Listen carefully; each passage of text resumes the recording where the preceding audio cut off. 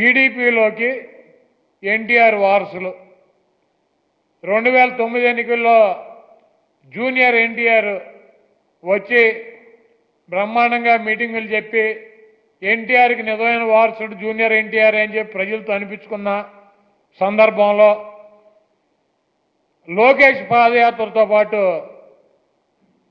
తారకరత్న గారు కూడా నేను కూడా పాదయాత్ర చేసి రాష్ట్రం అంతా తిరుగుతానని చెప్పాడు. ఆయన మిత్రులకు చెప్పాడు అందరికీ చెప్పాడు. నేను ఈసారి ఎన్నికల్లో పోటీ చేయదలుచుకున్నానని కూడా కూడా పత్రికలకు చెప్పాడు. యాక్టివ్గా తిరగాలని చెప్పి వెళ్ళాడు. అక్కడ ఎన్టీ రామారావు మనోడు ఒరిజినల్ మనోడు అంటే ఏముంటుంది? ఇటువంటి డూప్లికేట్ మనవాడు పనికి మాలినటువంటి ఈ పప్పు గుత్తిగాడిని ఎవడు పట్టించుకుంటాడు ఎవడో పట్టించుకోడు. అదే జరిగింది. జనమంతా అతని మీద పడ్డారు. ఒత్తిడికి లోనయ్యాడు. హార్ట్ అటాక్ వచ్చిందని చెబుతున్నారు. అంత ఒత్తిడికి లోనై అంతమంది జనం వచ్చి అతని మీద పడతాంటే వీళ్ళకి లోకేష్కు ఉన్నటువంటి సెక్యూరిటీ నాలుగు వందల మంది ప్రైవేట్ సైన్యాన్ని పెట్టుకున్నాడు. వాళ్ళు ఎందుకని అతను గాలికి వదిలేశారు? ఎందుకని ఎన్టీఆర్కి నిజమైన వారసులు వచ్చి తెలుగుదేశం పార్టీలో పనిచేయాలనుకుంటే వాళ్ళకి హార్ట్ అటాక్లు ఎందుకు వస్తున్నాయి? వాళ్ళకి యాక్సిడెంట్లు ఎందుకు వస్తున్నాయి? వాళ్ళ కార్లు బోల్తాలు ఎందుకు కొడుతున్నాయి? వాళ్ళు ఎందుకు ఇంటికి వెళ్ళిపోతున్నారు మళ్ళీ? దీని మీద కూడా సిబిఐ ఎంక్వైరీ చేయించుకునే దమ్ముందా నీకు చంద్రబాబు నాయుడు? నువ్వు చేసినటువంటి లుచ్చా పనుల మీద ఎన్టీ రామారావుని చంపావు. ఎన్టీ రామారావు చనిపోవటం వలన ఈ రాష్ట్రంలో ముఖ్యమంత్రి పదవి ఎవరికి వచ్చిందండి? చంద్రబాబు నాయుడికి. పార్టీ అధ్యక్షుడు ఎవడయ్యాడా? తెలుగుదేశం పార్టీ ఎవడు కంట్రోల్లోకి వచ్చింది? చంద్రబాబు నాయుడు. ఎన్టీఆర్ పెట్టినటువంటి బస్సు తారకం ట్రస్ట్ కానీ ఎన్టీఆర్ ట్రస్ట్ కానీ ఆ గండిపేట ఆశ్రమం కానీ ఈ ఆస్తులన్నీ ఎవరి దగ్గరికి వచ్చినాయండి? చంద్రబాబు కాదు. ఈ రాష్ట్రంలో రామరాజు చనిపోవటం వలన రామారావుకి వెన్నుపోటు పడిచి ఆయన ముఖ్యమంత్రి పదవి. ఆయన పార్టీ అధ్యక్షుడు కొట్టేసినటువంటి ఫోర్ ట్వంటీ గాడు దొంగ వెన్నుపోటుదారుడు చంద్రబాబు నాయుడు. ఈ సంగతి ఎన్టీ రామారావు చెప్పాడు. నేను మీరు చెప్పటం కాదు. ఎన్టీ రామారావుకి వెన్నుపోటు పడటం వలన ఆయనకు ద్రోహం చేయటం వలన ఆయన ముఖ్యమంత్రి పదవి ఆయన పార్టీ అధ్యక్షుడు ఆయనకున్నటువంటి ట్రస్టులు ఇవన్నీ కూడా వచ్చినటువంటి కుటుంబం ఏదైనా ఉందంటే అది చంద్రబాబు నాయుడు కుటుంబమే.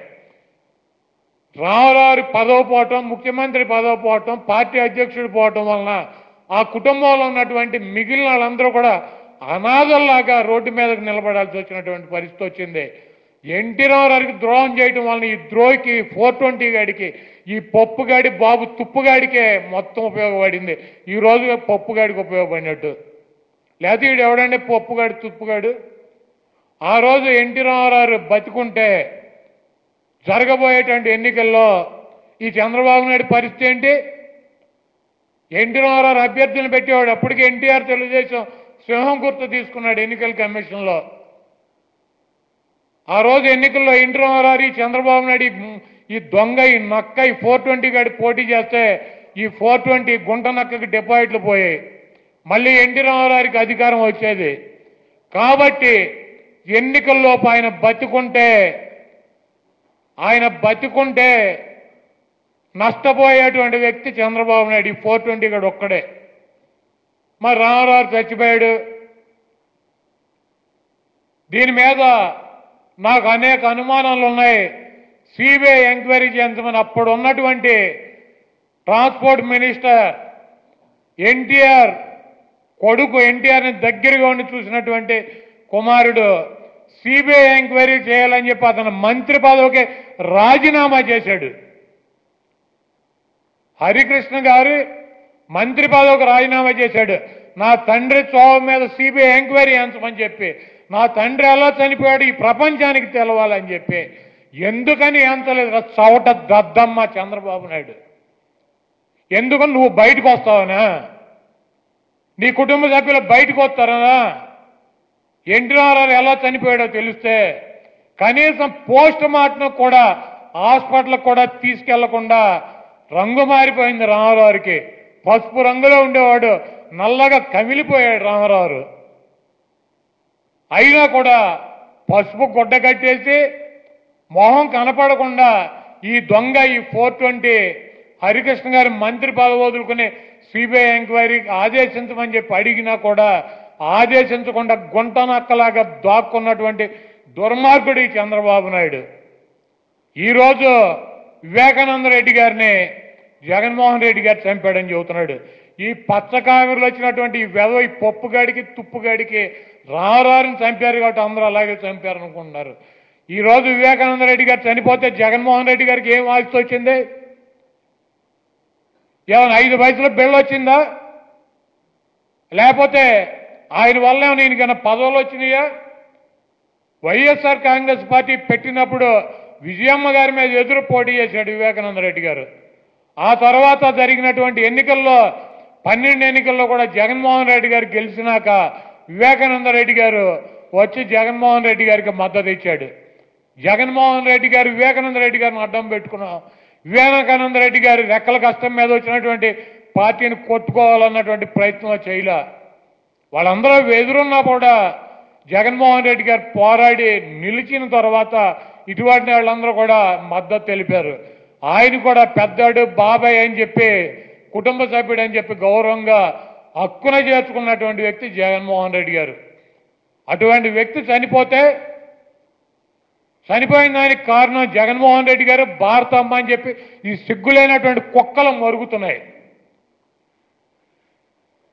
తండ్రి తర్వాత తండ్రిగా చూశాడు కాబట్టే తల్లికి ఆయనకు ఎదురు నిలబడినా కూడా వచ్చి చేరినాక రెండు వేల పద్నాలుగు ఎన్నికలు అయిపోయినాక విజయసాయి రెడ్డి గారిని వివేకానంద రెడ్డి గారిని హక్కున చేర్చుకుని ఎమ్మెల్సీ సీట్ ఇచ్చి గెలిపించడానికి ప్రయత్నిస్తే ఈ దుర్మార్గుడు ఈ ఫోర్ ట్వంటీ గడు.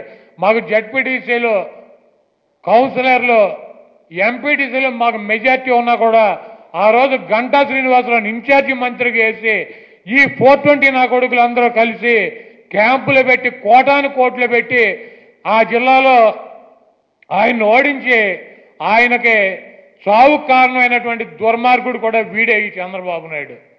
ఆ రోజు ఓడించి జగన్మోహన్ రెడ్డి గారిని తగ్గించి ఆ జిల్లాలో చూపించాలని చూశాడు. అది సాధ్యం కాక ఎన్నికల ముందు చంపి four twenty Chandrababu Naidu case Jaganmohan Reddy గారి మీద రుద్ది మళ్ళీ గెలవాలన్నటువంటి ప్రయత్నం చేశాడు. జనం కుక్కగాటికి చెప్పు దెబ్బ అని చెప్పి వీడి పళ్ళు రాలేదట్టు కొట్టారు. అయినా కూడా సిగ్గు శరం లేకుండా.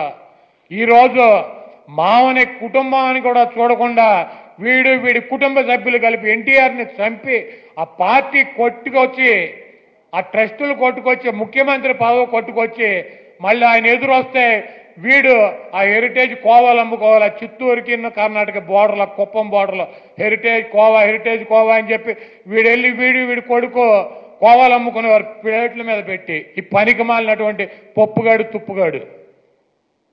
అందుకని ఎన్టీఆర్ తెలుగుదేశం పార్టీ పెట్టి సింహం గుర్తు పెట్టుకున్నటువంటి ఎన్టీఆర్ని చంపినటువంటి దుర్మార్గుడు కూడా వీడే.